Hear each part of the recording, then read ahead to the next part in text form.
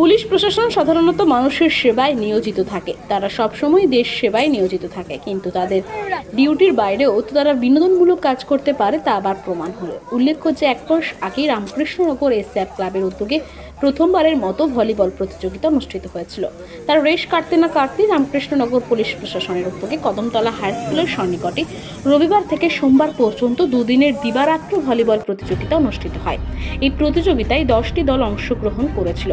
ফাইনালে মুখোমুখি হয়েছিল বিদ্যানগর ওয়ারিয়ার্স ক্লাব।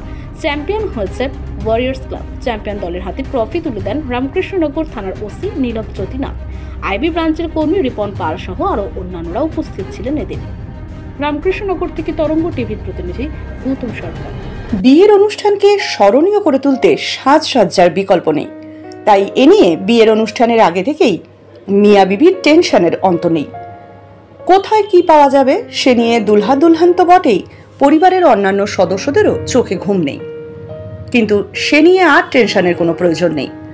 বদরপুর বোরখা হাউস বিয়ের অনুষ্ঠানের যাবতীয় সামগ্রীর সম্ভার নিয়ে আপনার টেনশন দূর করতে প্রস্তুত। এখানে পাবেন বিয়ের শাড়ি, বিয়ের লেহেঙ্গা, শেরওয়ানি, পাঞ্জাবি, ব্লেজার, বিয়ের বোরখা ইত্যাদি। সহজে পেয়ে যাবেন মন মাতানো সব সুগন্ধি। সম্পূর্ণ বিবাহের কেনাকাটার ওপর রয়েছে আকর্ষণীয় ছাড়। সঙ্গে রয়েছে আকর্ষণীয় উপহার। তাই আর দেরি না করে বোরখা হাউস বদরপুর থেকে কেনাকাটা করুন এবং আপনার উপহারটি নিয়ে যান।